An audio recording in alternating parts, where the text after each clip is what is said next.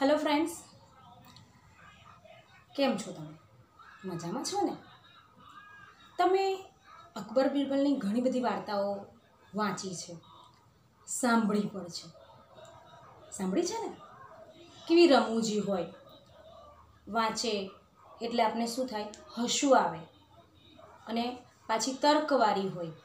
બુદ્ધિનો ઉપયોગ થયેલી હોય એવી વાર્તા અકબર અને બિરબલની વાર્તાઓ હોય છે.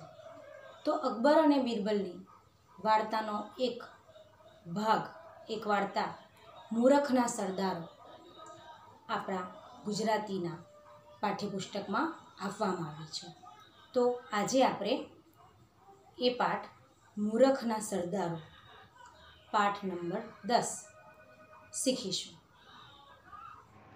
બિરબલ અકબરનો એક દરબારી. જે બુદ્ધિ ચાતુર્ય તેમજ હાજર જવાબીપણા માટે જાણીતો હતો. અને અકબર, જેમને આ પાઠમાં નામદાર શબ્દ તરીકે પણ ઓળખવામાં આવ્યા છે, જે રાજા માટેનું માનવાચક સંબોધન છે. તો જોઈએ આપણે આપણો પાઠ.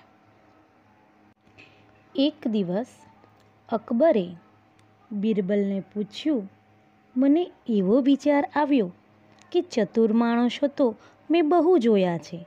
પણ મૂર્ખાઓ બહુ ઓછા જોયા છે. હોશિયાર માણસોને તો એ બોલે, ચાલે, તે પરથી પકડી શકાય. પણ મૂર્ખાઓને ઓળખવા સી રીતે? બિરબલ આ બધી વાત અકબરને પૂછી રહ્યા છે કે મૂર્ખ વ્યક્તિને કઈ રીતે પકડી શકાય કે આ વ્યક્તિ મૂર્ખ છે? હોશિયાર તો ખબર પડી જાય. એમાં શું અઘરું છે નામદાર? નામદાર એટલે કે અકબર રાજા. મૂર્ખાઓને પણ એમના બોલવા ચાલવા પરથી ઓળખી શકાય. બિરબલે જવાબ દીધો. હા, એ ખરું છે, અકબરે કહ્યું. પછી કંઈ વિચાર આવતા એ બોલ્યો, એક કામ કર, શું નામદાર? મારે મૂર્ખાઓને જોવા છે.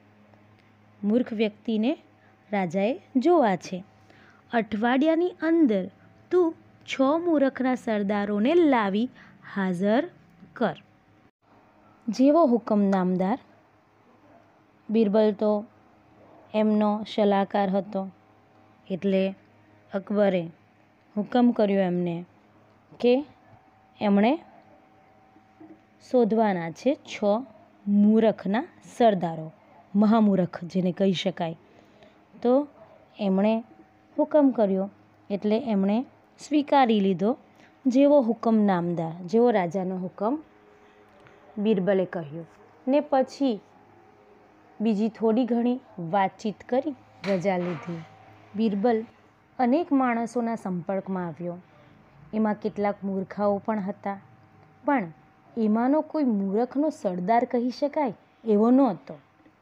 મહામૂરખ, મૂરખથી પણ ચડિયાતો મહામૂરખ. નહોતો એને શહેરોમાં મૂરખના સરદારોની શોધમાં ફરવા માંડ્યો. ભલે તો કેટલા દિવસમાં મૂરખ શોધવાના હતા? અઠવાડિયામાં. અને કેટલા મૂરખ શોધવાના હતા? છ મૂરખના સરદારો શોધવાના હતા. એટલે એ તો શહેરમાં મૂરખના સરદારો શોધવા મંડી પડ્યા. હવે જોઈએ આગળ કે બિરબલને શું છ મૂરખના સરદારો મળે છે? અને એ કેવા કયા પ્રકારના મૂરખો એને મળે છે? એ આપણે આગળના પાઠમાં વાત કરીએ છીએ એક દિવસ, એક ઘોડે સવાર માથા પર ઘાસનો ભારો લઈને જતો એણે રસ્તામાં મળ્યો. ભારો શબ્દ એટલે શું? તમને ખબર છે ભાડો કોને કહેવાય? ઘાસ, લાકડા વગેરે એકઠા કરીને બાંધતા થતી મોટી ભારી તેને શું કહેવાય છે? ભારો. ઘાસનો. એટલે આ લાકડાનો નથી, પણ શાનો છે. ઘાસનો ભાડો છે. એને ઊભો રાખીને પૂછ્યું. જે ઘોડેસવાર ઘોડેસવાર એટલે કે ઘોડા પર બેસીને બેસેલો અથવા ઘોડા પર સવારી કરે, કરી રહેલ માણસને પૂછ્યું. ઊભો રાખીને પૂછ્યું, ભલા માણસ તમે આ ઘાસનો ભારો માઠે કેમ મૂક્યો છે? કારણ કે એ તો ઘોડા પર બેઠો છે.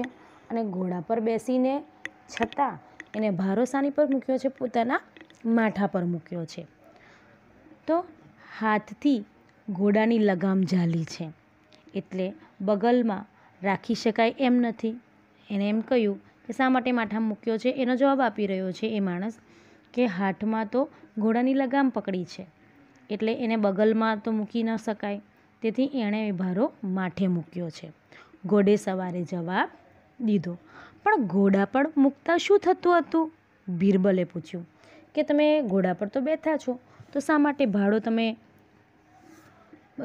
ઘોડા પર ન મૂક્યો અને માથા પર તમે મૂકી દીધો? ઘોડા પર? જોતા નથી કે ઘોડો કેટલો નબળો છે.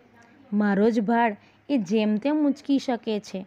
તેમાં વળી ઘાસનો ભારો એના પર મૂકું તો બિચારો મળી ન જાય ઘોડે સવારે કહ્યું. વળી આ મહામૂર્ખ કહેવાય. કારણ કે એમ કહે છે કે ઘોડો તો નબળો છે, ના તંદુરસ્ત લાગે છે.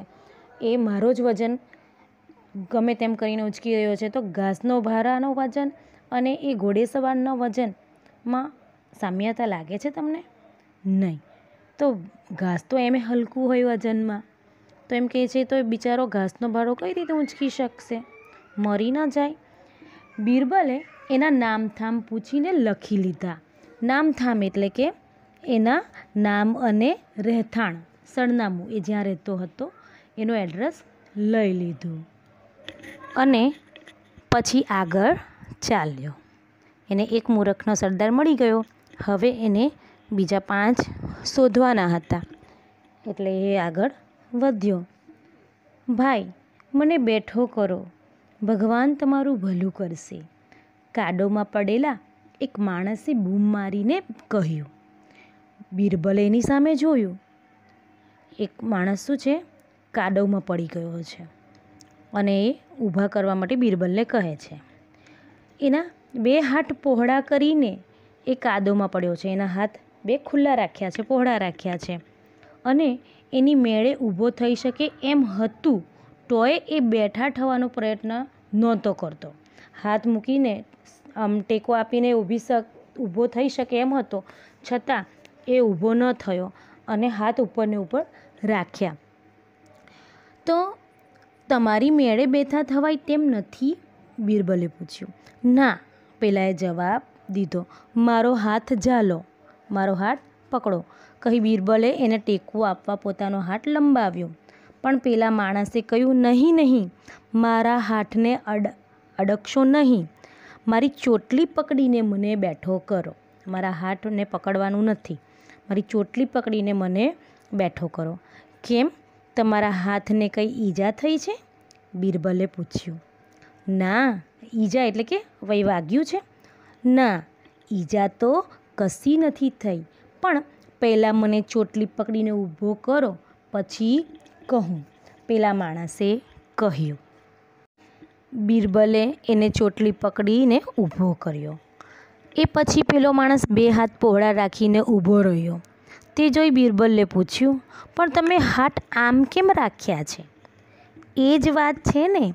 પેલાએ જવાબ દીધો, મારે સુથાર પાસે કબાટ કરાવવું છે. તેની પહોળાઈનું માપ લાવવા એણે મને કહ્યું હતું. અમારા ઘરનું જૂનું કબાટ માપી જોયું તો એ મારા બે હાથની પહોળાઈ જેટલું છે. એટલે એ માપ ભૂલી ન જવાય તે માટે મેં બે હાથ પહોળા રાખી હું સુથાને ત્યાં બતાવવા જતો હતો. રસ્તામાં ચાલતા ચાલતા લપસી પડ્યો. પણ હાથ નીચા કરું તો માપ ભૂલી જવાય. એટલે હાથ એમને એમ રાખી પડ્યો રહ્યો. આ તમે આવીને ઊભો કર્યો તો માપ બરાબર જળવાઈ રહ્યું. આને પણ કહેવાય ને મહામૂરખ, પડ્યો રહ્યો પણ માપ ન ભૂલ્યો. બિરબલે એના પણ નામથામ પૂછીને લખી લીધા. નામથામ એટલે તો આપણે આગળ જોઈ ગયા શબ્દ. નામ અને રહેઠાણ, સરનામું એનું લઈ લીધું. હવે કેટલા બાકી રહ્યા? મૂરખો શોધવાના? ચાર. તો એ આપણે આગળના ભાગમાં એની વાત કરીશું.